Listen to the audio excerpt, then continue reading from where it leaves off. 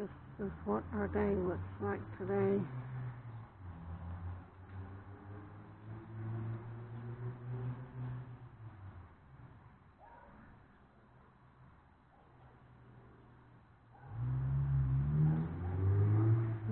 Looks like